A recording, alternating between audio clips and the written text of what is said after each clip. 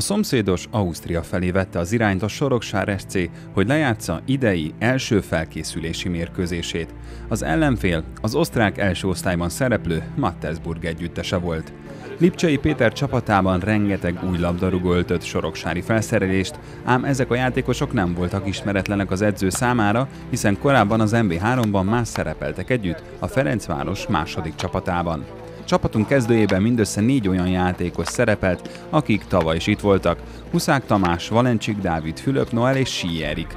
A kapuban egy új szerzemény Kovács Dániel kezdett, a védelem tengelyében Dvorzsák Gábor, míg a többiek Derekar Zoltán, Orosz Márk, Albert Ádám, Lakatos István, Csillag Dáriusz előpróbáltak zavart kelteni. Már az első percben érezni lehetett, hogy más felkészülési stádiumban van az osztrák együttes, míg mi nálunk majd négy hét van a kezdésig, addig a Mattesburg jövő héten már bajnoki meccset játszik az osztrák Bundesligában. Nem szabad összehasonlítani a két bajnokságot, hiszen óriási a különbség a csapatok lehetőségei között. Ettől függetlenül együttesünk próbált helytállni az erősebb ellenfélel szemben, ám helyzetig csak ritkán jutottunk el. Az első bravúrt a kapusoknál Kovástól láthattuk, egy oldalaszabadrugás utáni fejesnél védett nagy bravúrral a Csákvárról szerződtetett játékosunk. Majd a 18. percben Höller durantott fölé. 5 perccel később pedig Dvorzsáknak kellett mentenie a Hóri Horgas osztrák csatár elől. A 28. percben rátlőhetett szabadot a 16-os vonaláról, tekerésére Kovács mozdulni se tudott, szerencséjére az osztrák játékos a kapufák találkozását lőtte telibe.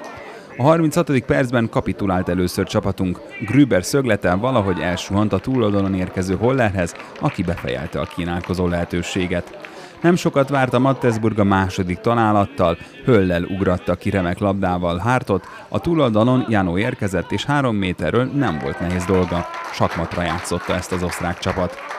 A második félidőben mindkét csapat sort cserélt. Nálunk a régi arcok közül egyre többet láttunk, de voltak újak is, és úgy tűnt a második félidő elején, hogy felvesszük az ellenfél ritmusát, többet volt nálunk a labda, de helyzeteket továbbra se tudtunk kialakítani. A kapuban Kovács újra bravúrokkal nyitott, itt éppen szitszám lövését ütötte ki a bal alsóból, majd a japán Okagávájét is kivédte kapusunk. A 76. percben megszerezte az osztrák csapat a harmadik gólt is. Draga ment el a jobb szélünkön, beadása Valencsik lába alatt jutott el Prevjekig, aki Kovács szemei közé lőtte a labdát. Az utolsó negyedik gólt a 85. percben kaptuk. Sánchez végzett el szabadrugást, a túloldalon Pink fejelte azt vissza a kapu elő érkező magyar játékosnak, Varga Barnabásnak. Szép akció volt, el kell ismerni. Ellenfelünk megérdemelten győzött, de ne felejtsük, hogy a felkészülésünk elején járunk még.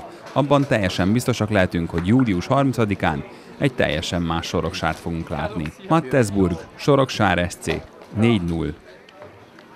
Nyilván a vereség a soha nem jó, de én úgy gondolom, hogy azért mind a két fél időben voltak jó dolgaink. Nyilván, ahogy te is mondtad, ez egy erősebb ellenfél volt, tehát ők az osztrák első osztályban hetedik helyen végeztek tavaly. Nyilván lehetett látni a srácokon a fáradtságot, és a vége felé már azért nagyon sokan elfáradtak, és a figyelem is lankadt.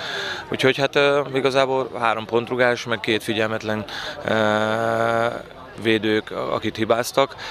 Én úgy gondolom, hogy semmi probléma nincs, mert nagyon keményen dolgoztak a fiúk, tehát nem is erre a mérkőzésre készültünk, hanem a 30 ára készülünk. És én láttam bízható jelet, és hát nyilván láttam olyat is, aki, aki, aki egy picit gyengében teljesített a mai mérkőzésen. Gondolom azért ilyen erős csapattal nem biztos, hogy találkozunk az MB2-ben, de hogyha ilyen ellenfelekkel tudnánk mindig készülni, akkor valószínűleg nagyon gyorsan tudnánk mi is egy kicsit feljebb lépni. Igen, hát sokkal, keményebben, sokkal keményebbek voltak, és hát főleg a fiatal játékosainknak most ez nagyon fontos, hiszen azért meg kell nekik tapasztalni azt, hogy sokkal gyorsabb a játék. Tehát itt már nincs két-három-négy érintős, hanem át kell venni a labdát, lepasszolni, labda nélküli mozgás, és ez jó volt arra, hogy a gyerekek is megtanulják azt, és megtapasztalják azt, hogy hát ez egy már más kávéház, és ez egy felnőtt kubwa.